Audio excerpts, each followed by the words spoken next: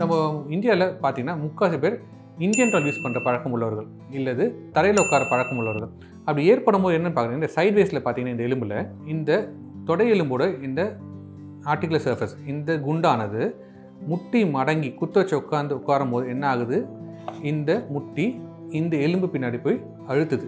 அப்போது இந்த எலும்புக்கும் இந்த எலும்புக்கும் நடுவில் இந்த மெனிஸ்கஸ் ஆனது நல்லா நசுக்கப்படுது. இதுதான் posterior root of medial meniscus இது posterior root of lateral meniscus so இப்படி முட்டி மடக்கி உட்காரும் போது குத்த வச்சு உட்காரும் போது நம்ம உடம்போட ஆறு மடங்கு வெயிட்டு அந்த மெனிஸ்கஸ் மேலே விழுது.